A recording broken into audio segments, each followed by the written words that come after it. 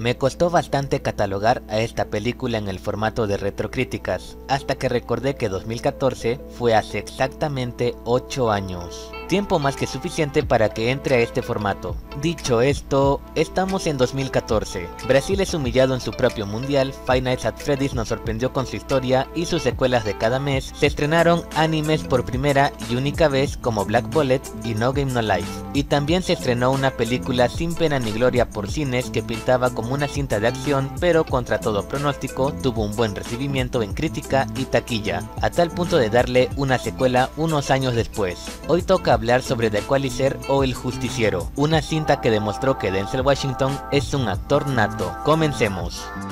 Robert McCall es un hombre que aparentaba una vida normal hasta que unos mafiosos atacan a una persona que conocía, lo cual lo obliga a desempolvar ciertas habilidades que prometió no volver a usar. Ahora empezará a impartir justicia propia aún sabiendo que solo le traerá enemigos peligrosos. Esta película sigue el mismo sendero que la primera entrega de John Wick, un asesino que quiere escapar de su pasado pero vuelve a él por circunstancias de la vida. En el caso de Robert se debe más que nada a un sentido de justicia que a uno de venganza, lo que hace que uno empatice con él de manera más natural que con John Wick. Asimismo, el rumbo de la historia es el mismo que todas las películas de justicieros anónimos. La diferencia es que el desarrollo de la historia nos brinda sangre, acción y tensión de manera mesurada. No busca darnos cuadros y cuadros de golpe sino que comprendamos cómo es el mundo de Robert, por qué hace lo que hace y quiénes se ven afectados.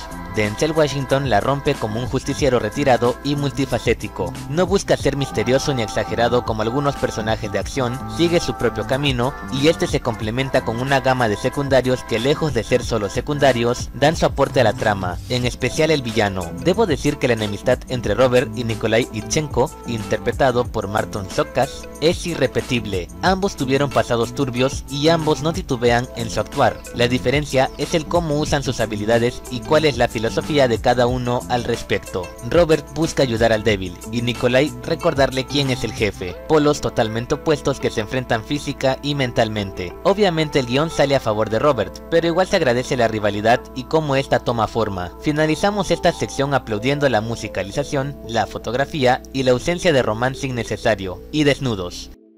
Esta es de las pocas cintas del género acción que, me alegra decirlo, no tuvo muchos tropiezos en el guion o el aspecto técnico. Las coreografías están ok, no son tan abusivas como en John Wick o cualquier película de Sylvester Stallone. La lógica en cada masacre está dentro de los estándares de normalidad y son pocos los huecos en su historia, como el pasado de Robert, sus conexiones, que nunca lo delaten los testigos o sus víctimas que sobrevivieron a sus golpes. Eso sí, la película a pesar de no tomarse en serio, sí que se toma su tiempo en varias subtramas lo cual puede llegar a desentonar con las personas que esperan golpes y más golpes. Punto.